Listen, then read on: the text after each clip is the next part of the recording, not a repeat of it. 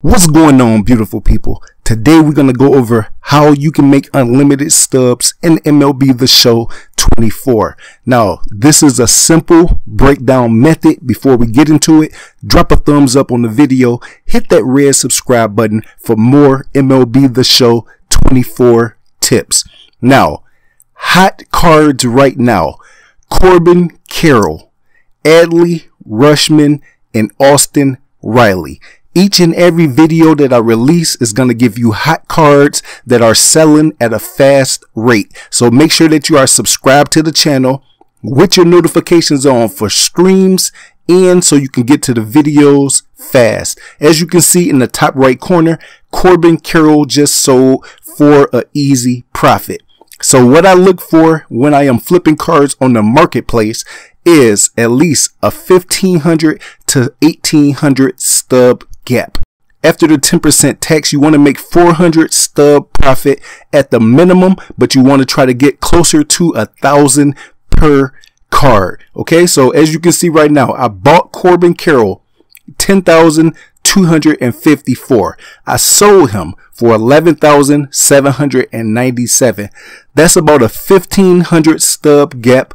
Once you take taxes off, that's going to leave you with a little over 430 stub profit. Adley Rutschman is a bigger one. He's going to give you about 700 stub profit. So you want to give yourself about 25 to 30 minutes a day. Have these orders in. And then when you get done with all three cards, you should make within an hour about 35 to 50,000 stubs. Okay. Now, if you can find other cards, make sure that you buy them. And then if they don't come to you in about the first two minutes, I go ahead and cancel that. I don't just leave it on all day. So Corbin Carroll is moving super fast. I did him about three or four times.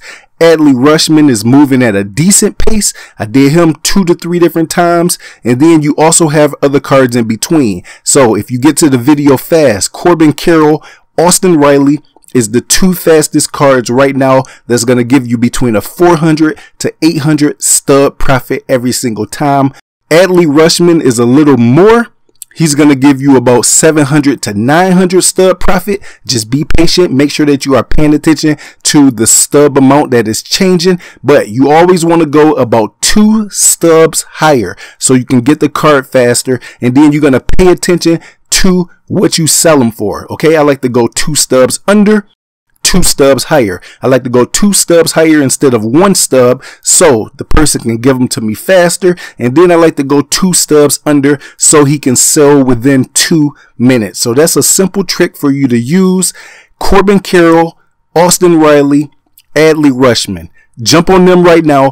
Don't be undercutting by 50 and 60 stubs. That's just going to cancel the method that I'm giving you. Next video is going to be different cards. So make sure that you are subscribed with your notifications on. Super fast stubs, about 30 to 50,000 every single 45 minutes to an hour. And then you also have the roster updates and all that other type of ways that you can make stubs. Stay tuned. Let's go.